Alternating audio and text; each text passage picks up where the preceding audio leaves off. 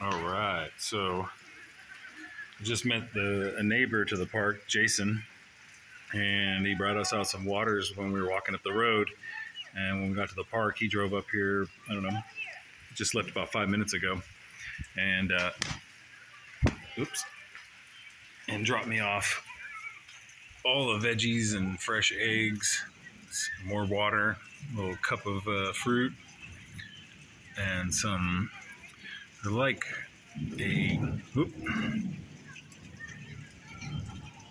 they're like a cucumber cherry tomato type thing. I don't know what they're called. I forget already. But cucumbers, zucchini, some cherry tomatoes, and then there's a uh, barbecue in the gazebo next to me, and they brought over a nice little plate for me scallop potatoes, and pasta salad, and potato or macaroni salad, and some beans and bacon. Yeah, a feast tonight. pulled pork there. I bought that, and then a French baguette. And I guess I'm supposed to be here at the park and have myself a little feast. It is storming. We had uh, all the apps said severe weather, tornado warning. So it just started raining and it's thundering and pretty good. So we're uh, a little creek right over here. Get my phone to zoom.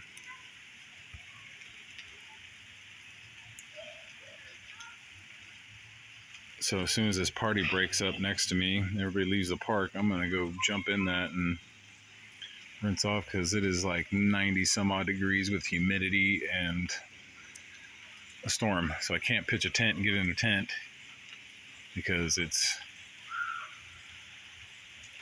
way too hot to sit in a tent with the rain fly on. So we're underneath this gazebo and it's got power. So yeah, we're gonna just sit in here for a little bit. Eventually I'll have to pitch a tent though, so the mosquitoes are so bad. The mosquitoes are so bad that uh,